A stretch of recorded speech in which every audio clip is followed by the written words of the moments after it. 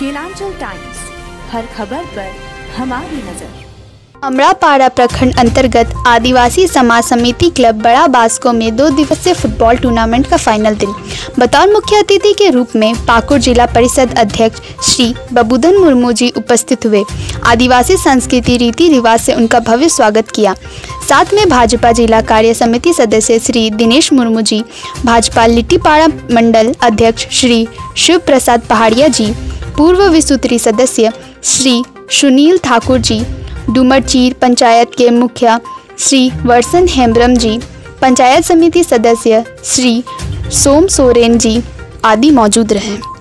Final खेल में FC नवा ओपेरा बेसरा टीम ने एक गोल से गांडू पड़ता टीम को हराकर विजेता बना। विजेता टीम एफसी नवा ओपेरा बेसराग टीम को श्री बबूधन मुर्मू जी ने प्रथम पुरस्कार चौदह हज़ार रुपये से सम्मानित किया। उप विजेता द्वितीय पुरस्कार गांडू पड़ता टीम को दस हज़ार रुपये से सम्मानित किया। सेमीफाइनल में तीन तीन हज़ार देकर सम्मानित किया। कमेटी अध्यक्ष श्री बजल टुड्डू, सचिव श्री रामजी हासदा, सोम हासदा, मिसल टुड्डू, प्रधान टुड्डू आदि मौजूद रहे।